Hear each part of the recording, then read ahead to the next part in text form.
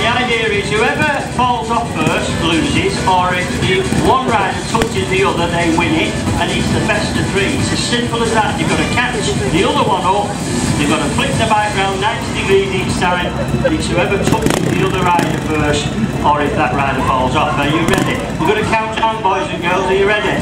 We're going to count down from five. Four. 50. You could be here a while. No. Are you ready? Five, four,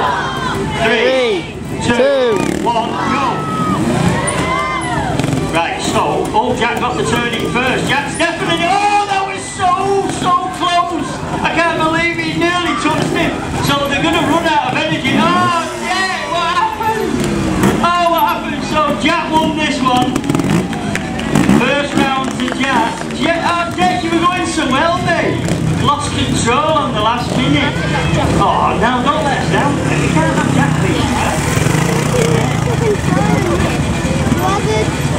He's come from Las Vegas. What time's your last book, by the way? Are you right then? So, we'll do it from three because I'm bored now. Are you ready? From three, kids. Three, Two. one, One. go! Right, so Dex definitely got the move, but oh, he's got the turning well in advance. So come on, Dex.